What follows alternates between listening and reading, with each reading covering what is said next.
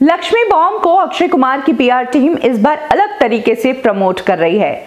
जहाँ अक्सर हमने देखा है कि जैसे ही कोई भी फ़िल्म का ट्रेलर आता है तो जो फ़िल्म के सो कॉल क्रिटिक्स है, जिनके नाम है, जिनके नाम से फ़िल्में चलती है, जिनके स्टार्स न्यूज़पेपर के फ्रंट पेज पर छपते हैं वो रिव्यू करते हैं। वहीं इस बार देखा गया कि उन लोगों ने तो रिव्यू किया ही, इसके अलावा अक्षय कुमार की टीम ने कुछ ऐसे लोगों को अप्रोच किया है रिव्यू करने के लिए कि वो लोगों के सेंटिमेंट्स को टच कर सके और ज़्यादा अंदर तक ऑडियंस तक पहुँच पाए। यही कारण है कि लक्ष्मी बॉम्ब के लिए अक्षय कुमार की टीम ने लक्ष्मी, जो ट्रांसजेंडर है, जो कि सोशल वर्कर भी है, काफ़ी बड़े काम उन्होंने किए हैं, उनसे रिव्यू करवाया है।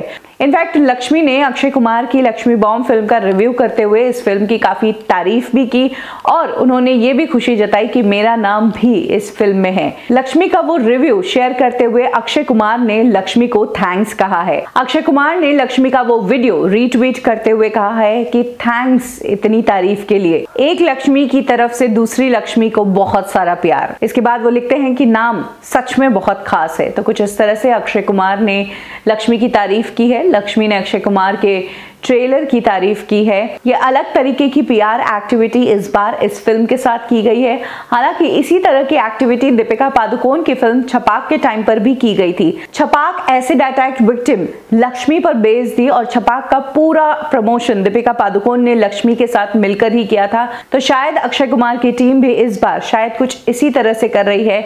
उनकी फ़िल्म लक्ष्मी बॉम्ब को प्रमोट करने के लिए, जहाँ लक्ष्मी बॉम्ब को पूरी इंडस्ट्री से आशीर्वाद मिला है।